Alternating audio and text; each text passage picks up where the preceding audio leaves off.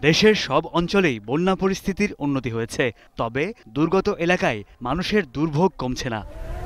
কুড়িগ্রামে নদ নদীর পানি নেমে যাওয়ায় ঘরে ফিরছে উঁচু জায়গায় আশ্রয় নেয়া বানভাসী মানুষ। তবে উপার্জন না থাকায় বেড়েছে খাদ্য সংকট। ত্রাণ সহায়তা বাড়ানোর দাবি জানিয়েছেন ক্ষতিগ্রস্তরা।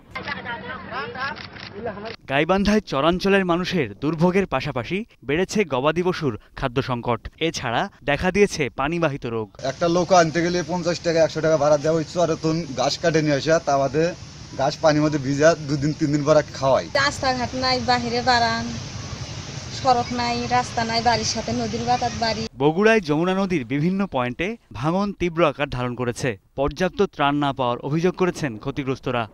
অন্যায়। আমার একটা টাকা দিচ্ছে টিন দিচ্ছে। মুখে এখনও পর্যন্ত জামালপুরে বন্যার পানি কমে গেলেও রাস্তাঘাট ও ব্রিজ ক্ষতিগ্রস্ত হওয়ায় মানুষের দুর্ভোগ কমেনি। জেলার ইসলামপুর, দেওয়ানগঞ্জ, মেলান্দহ, বক্সিগঞ্জ ও সরিষাবাড়ি উপজেলায় তিনশো আঠারো কিলোমিটার কাঁচাপাকা রাস্তা ক্ষতিগ্রস্ত হয়েছে।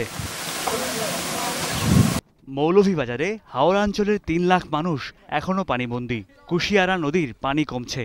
কয়েকদিনের মধ্যে বন্যা পরিস্থিতির আরও উন্নতি হবে বলে জানিয়েছে পানি উন্নয়ন বোর্ড।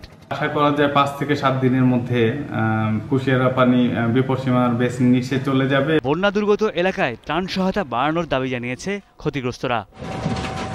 রাশেদুল আলম রাসেল একুশে টেলিভিশন।